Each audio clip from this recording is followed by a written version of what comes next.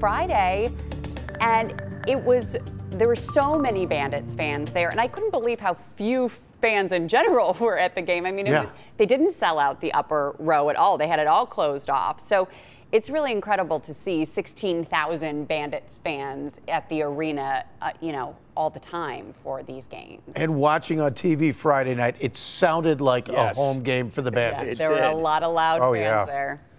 Four trips to the championship in a row. Yep. Sounds kind of familiar. Yeah, but they've won. They've won. That's, that's a big difference. Right. They've come home with victories a couple times. Yeah, it's exciting. I can't wait. Yeah, not this weekend, but uh, the following weekend as we we're, we're, uh, we're going to see these matches. Can't wait.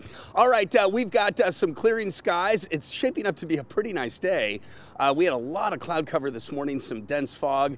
That is lifting, although along the uh, lakeshore there should be uh, a little fog remaining. Uh, otherwise, it's looking okay. So yeah, mostly cloudy, but. Looking to the north, I'm seeing uh, blue skies. So we'll go with a uh, partly uh, cloudy or partly sunny afternoon.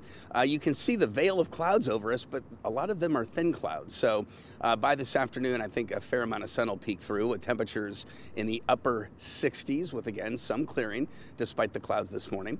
Uh, clear tomorrow, down, down into the 40s to start the day, but a gorgeous finish. My goodness, a beautiful Tuesday.